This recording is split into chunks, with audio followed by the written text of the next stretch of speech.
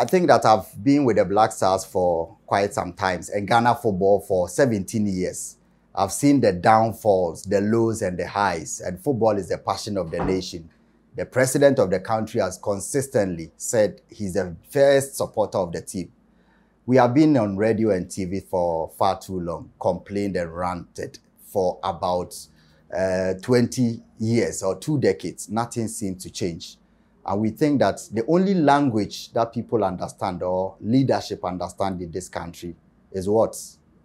Is demonstration, peaceful demonstration. So we are just hitting the street peacefully to democratically express our grievances.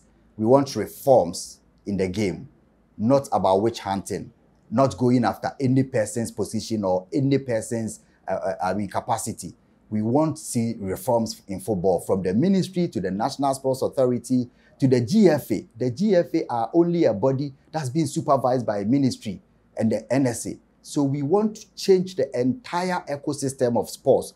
And we can do that by attracting attention to the game. That's why we are working. We want people to come on board and say that sports is bigger than we thought. It's no more recreation.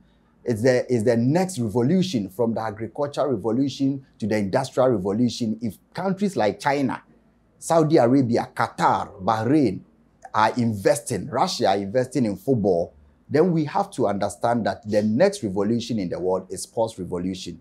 Thankfully, we have the talents and we have a comparative advantage in football. Why don't we invest and left it at the behest of a few group of people who are benefiting at the expense of the game?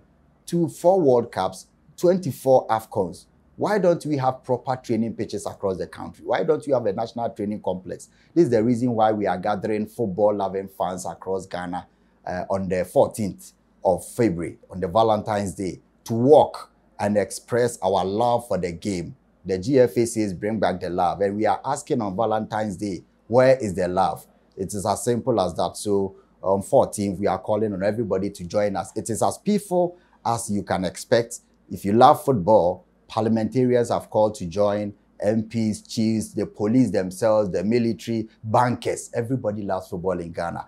There is a romantic relationship between Ghanaians and football, but if we see it die under our noses, uh, the, the, the next generation and posterity will never uh, forgive us. Reason why we have taken this upon ourselves to walk on the 14th and 9 a.m. at the Kwame Nkrumah Circle, where we walk through the principal street to present petition to the Jubilee House, to the Parliament, to the Ministry of Sports and GFA reforms, and then uh, we, we go back to our individual homes.